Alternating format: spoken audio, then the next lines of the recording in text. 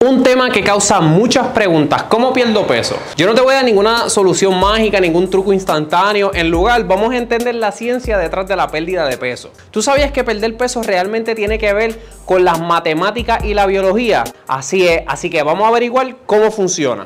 Lo primero que debes saber es la energía y las calorías. Vamos a comenzar definiendo qué es una caloría. Una caloría es una unidad de energía, es una forma de medir la cantidad de energía que obtenemos de los alimentos que comemos.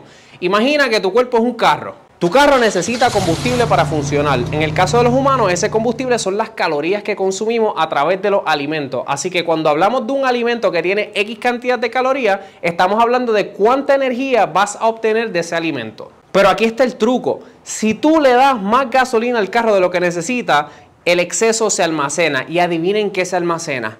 En grasa. Así que cuando hablamos de perder peso, estamos hablando de darle al cuerpo la cantidad de calorías que necesita, no más a menos que tú seas avanzado y estés entrenando a altas intensidades, el cual no te afecta subir un poco más las calorías, ya que tu cuerpo va a utilizar esa energía a la hora de entrenar. Y esto es ya cuando alcanzas cierto nivel de volumen muscular y rendimiento físico. Segundo, la importancia del balance energético. Ahora, sabemos que nadie le gusta quedarse sin gasolina, así que podrías pensar, ¿por qué no simplemente como menos calorías? Bueno, aquí es donde entra el equilibrio. No se trata de solo comer menos, sino también moverse más.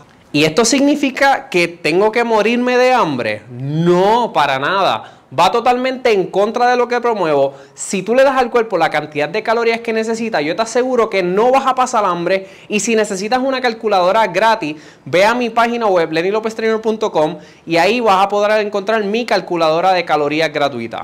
Tercero, el metabolismo y la pérdida de peso. ¿Alguna vez has oído hablar del metabolismo?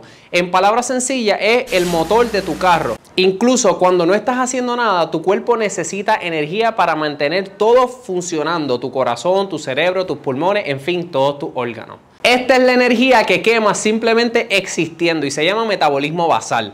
Algunas personas tienen un motor que quema más energía y otras menos.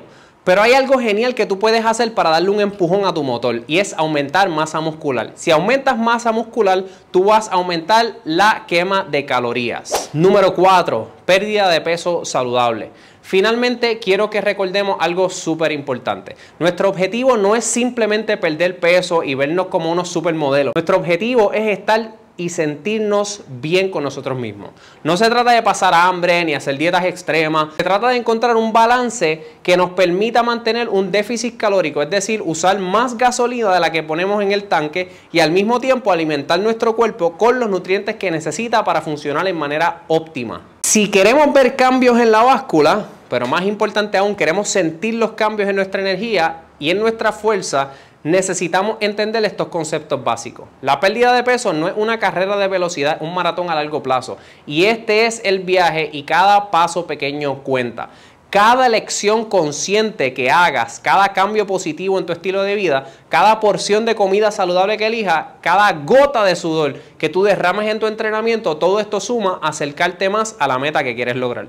Así que adelante, mantén tu enfoque, celebra tus logros, no importa lo pequeño que sean. Recuerda que el poder está en tus manos. Dale para encima, no tengas miedo, estamos juntos, yo te voy a ayudar. No olvides suscribirte a mi canal y dar a la campana para que te lleguen las notificaciones cada vez que yo subo un video. También si necesitas un entrenador y no quieres pasar hambre, necesitas un plan personalizado de entrenamiento y un plan de comidas, déjame saber que yo te voy a ayudar y hasta el próximo video.